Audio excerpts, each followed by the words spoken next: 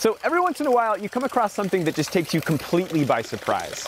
Like, you think you know how water and gravity work, right? You turn on the hose and water comes out. And then you see something like this. I mean, what exactly is going on here? If you think the camera has something to do with it, you're right. Today, we're going to look at a whole bunch of illusions that mess with your visual perception. Some rely on camera tricks, others require special lighting, and some you can even see with nothing but your naked eye. But first, let's talk about how we wound up building this thing. My producer Juno and I had seen something like it online. We did some research and found that to make it ourselves, we would need a speaker, rubber tubing, a stand, a water source, a sump pump for circulating that water, and a lot of gaffer's tape.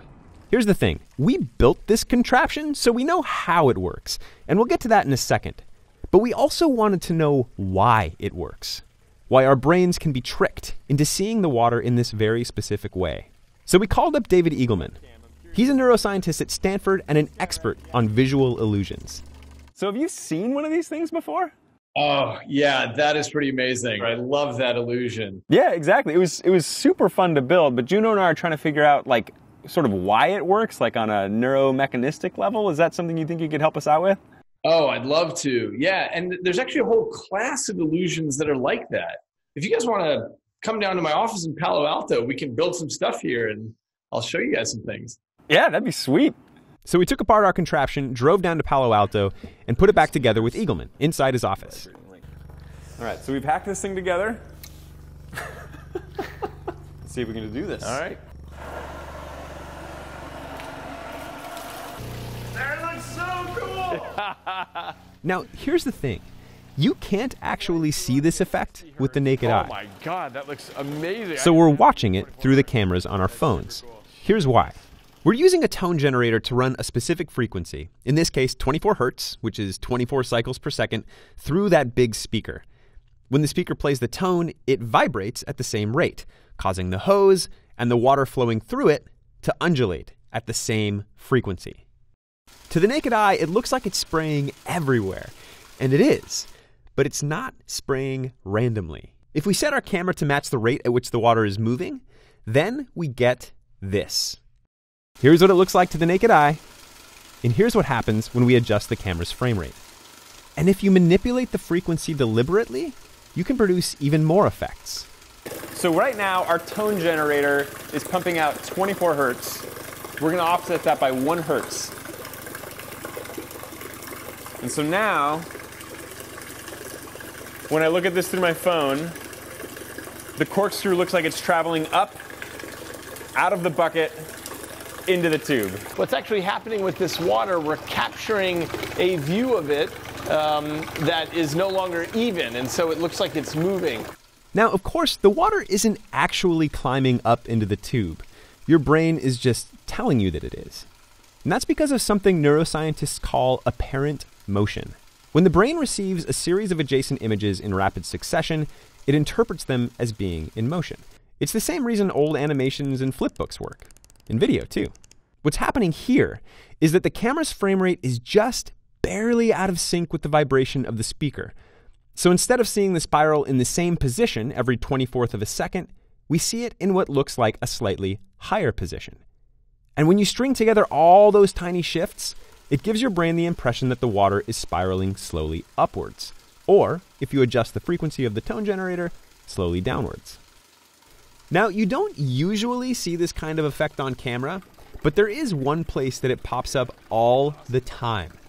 And that's when you see a wheel moving, on a car, for example. And that gave David an idea. Why don't we hop in the car and using the camera, film the wheel as we're driving and see if we can reproduce the wagon wheel illusion? Awesome. Okay, cool. That sounds Let's do good. that. Let's All do right. it. Great. Now, you may not have heard of the wagon wheel illusion, but you have definitely seen it. So our producer Juno is going to be hanging out the window with a GoPro on a selfie stick. Okay. David in the back has a live view of what's happening Oh, on I'm an already iPhone. seeing it. Oh, geez, beautiful. It's cool, right? Here's what's happening the frame rate on the camera is perfectly matched with the rate of the wheel's rotation. So every time it captures an image, the spokes appear to be in the same position. And just like we saw with the spiraling water, weird things happen when the frame rate is just slightly out of sync with the motion of the object being filmed. But actually, keep going. So as you're going straight here, okay, yeah, it's beautiful. It's going backwards here. At this speed, it's just going fully backwards. Right here, I'm doing a pretty bad job of driving at a consistent speed, which is why the spokes go from looking like they're spinning slowly backwards to standing still to drifting slowly forwards, all in the span of a few seconds. With the spiraling water illusion, we flipped the switch and the water immediately vibrated at the exact frequency we wanted. But here, the rate at which the wheel is rotating fluctuates based on how slow or fast I drive, which changes what the camera sees at a fixed frame rate. Oh my god, that's wild. Watch that footage again, but this time, pay attention to the wheel's bolts. I mean, the really wacky part, I had just never noticed this before, is there are five bolts and seven spikes, and because of the differences in the distances there, they are doing different things. So the bolts right now look like they're moving backwards, and the spokes at this exact moment are not doing anything. They're just, they're essentially still. But the bolts are zipping around like crazy because your brain doesn't know that that's actually spoke number one, and then spoke number two, and spoke number three in that position. It just looks the same to it. The, That's cool. the bolts, on the other hand, are changing position, and so your brain picks the shortest direction and says, oh, okay, I think it must be rotating that way as opposed to that way. Remember apparent motion? It applies here too. Because the bolts in each frame appear to shift ever so slightly counterclockwise, your brain interprets them as spinning backwards. Okay, so that was sweet. But just like this speaker illusion, that's requiring the camera to work. Right. We can't see it with the naked eye. Right. But there is a way to do that. Yeah, we can do that uh, essentially with a strobe light by uh, illuminating for us, where we see the thing, and then we see the thing, we see every 24, you know, 24 times a second. We could we could capture the same thing without a camera. Right. And you actually Yeah. showed me you've got like a little Yeah, desktop thing, yeah. right? Yeah, let me grab this. So this is the levitating water illusion. So this has a pump in it. Isn't that terrific? So, so even though it looks like that's one drop, that's actually catching one drop at that position and then catching the next drop at a position just above that, the next drop at a position just above that. So what you see because of the strobing is this going up. Yeah. By switching the rate at which it's dripping, we can make it stand still. We can make it go the other way in slow motion. So essentially, you can change the rate at which it's dripping, and you can change the uh, the rate at which the strobe lights are flickering. So the cool thing to me about this illusion is that you don't need a camera to make it work. You can actually see it with your naked eye with a little help from the strobe light.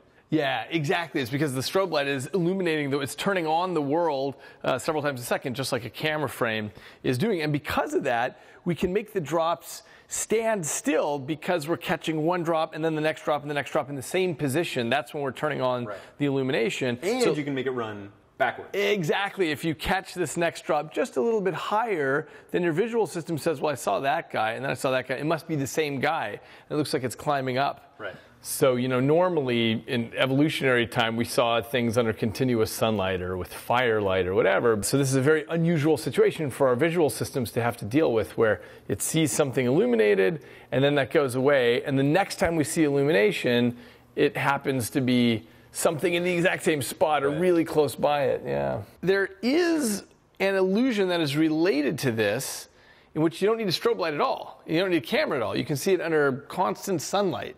You can see the direction of a moving object reversing. It's a very strange thing, and we can build that actually if you want. We can build that up. Yeah. All right, why don't you have a seat? Okay, so the key is find a spot that you can stare at that's not moving. In other words, don't track the dots with your eyes. Here's a view of what I'm seeing. If you haven't already, full screen this video. We're going to run this shot for a long time so you can try it for yourself. Fix your eyes on the white dot and keep them steady. Try not to let them follow the black circles as they whip past. Now try not to blink and be patient. Stare long enough, and something strange should happen. Every so often, the direction that the dots are spinning will appear to flip. It only happens occasionally, and while it happens for some people more than others, the effect never lasts more than a few seconds. And here's the difference between what you're seeing here and the spiraling water and wagon wheel illusions.